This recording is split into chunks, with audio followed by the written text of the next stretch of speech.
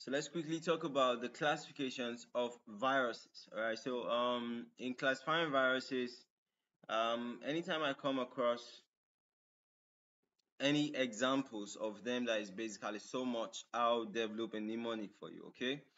So classify viruses and let's look at the various parameters in which we'll be using to classify these um, viruses.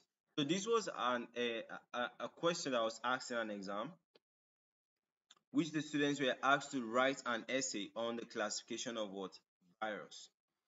Okay, so um, most of the times you do an introduction, then um, based on this, based on this, right? So the categories were what based on nucleic acid, um, based on capsid, and based on envelope, right? So I think that that was just how far they went. Okay, so for the introduction now, we said that viruses are small infectious agents that contain only one kind of nucleic acid. So it could either be what? RNA or it could be DNA. Do you understand? They don't contain the two. Alright, either RNA or DNA. Alright, so now the entire infectious unit of virus is known as what? A virion. Okay, so these viruses they replicate in living cells okay? They are made up of what? A protein shell called the capsid all right? So now this capsid encloses the nucleic acid genome all right? So that's just um, how briefly we could actually go through this. The capsid all right? It envelopes what is known as what? The genome. You see number one here you see what? Capsid. Then number two here you see dna all right? Dna is still what is called what? The genome all right so now classifications of viruses now, let's classify them based on what? Nucleic acid. Based on nucleic acid, we have viruses that could either have the DNA as their genome or they could have the RNA as their genome. Okay. So now for the DNA viruses now, we say that um uh, okay, so double-stranded DNA viruses. Let's have the examples. Okay, so these DNA viruses they basically have a double strand. Okay, so they are basically double-stranded viruses, right? So this DNA was not supposed to be here because you're already talking about DNA virus. Okay, so you see, um, the examples we have are the herpes viridae, hepadna viridae, papilloma viridae, polyoma viridae, and adenoviridae. Okay have some of the examples here though, alright. Although I don't think this is the examples will be useful to students because most students just want to grab and pass. Okay, so the mnemonics for this is what H H raised to the power 2, P raised to the power 2, then A in the middle. Alright, so you have half H square, P square, A in the middle. Alright, so each letter you could see the word attached to it all right? So let's talk about their, their characteristics. So because they have two strands now the strands uh, they have both one of the strand is positive and one of the strand is what negative okay? Uh, so say that what they are all double stranded except what parvoviridae all right? So this parvoviridae is uh, an exception. Uh, you can see what's adenoviridae here see the papilloma viridae. You go see the hep herpes viridae here. Okay, these are the ones I'm actually to figure out.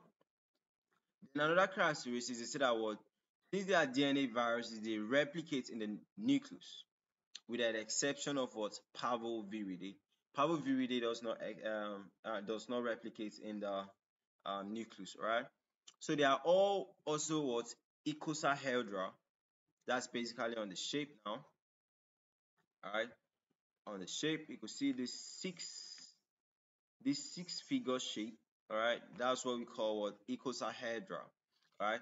So they are all icosahedra except for pox virus okay? And talking about uh the rna virus here this one i arranged the mnemonics here. Pc2r3 top bar okay? So now this rna virus is a type of virus that uses what? The rna that is a ribonucleic acid as their genetic material okay So the examples is what PC2 R3 top bath. That's a mnemonic to remember them.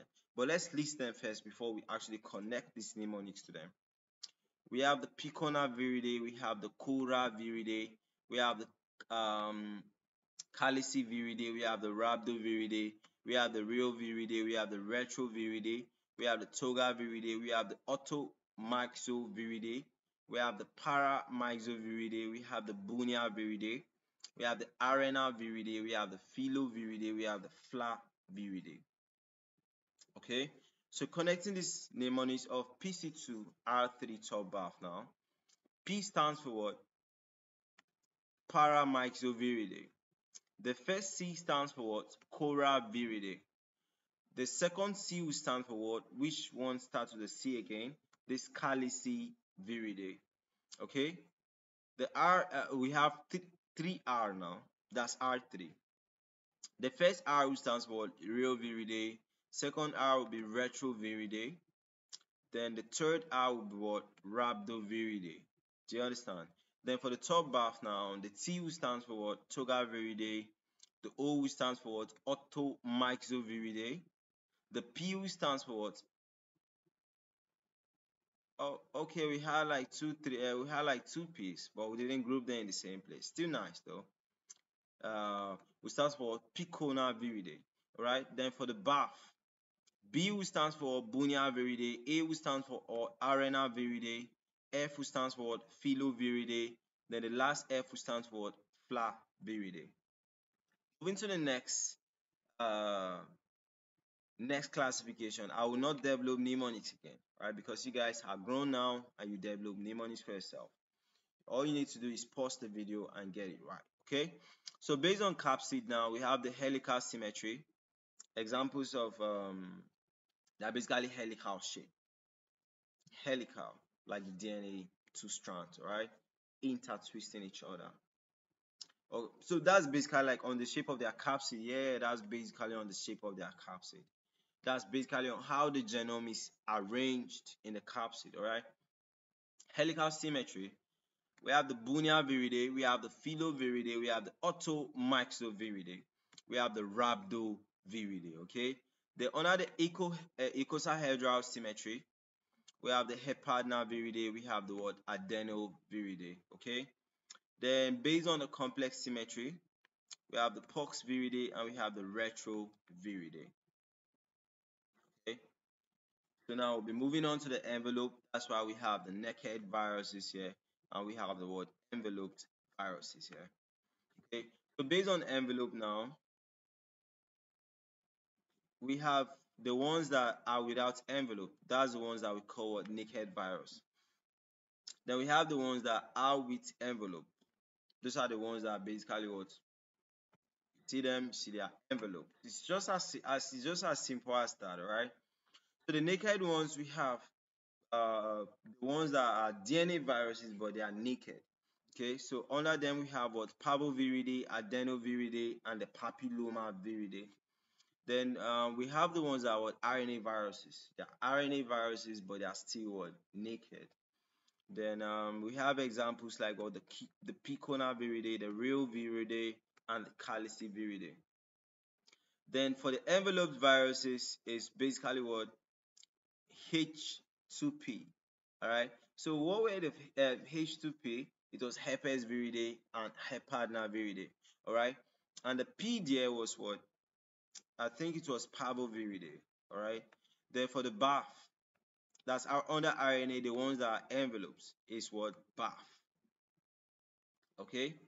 So this BAF was what Bunya viridae, Arena viridae, Filoviridae, and what Flaviviridae. This last four that you guys see here.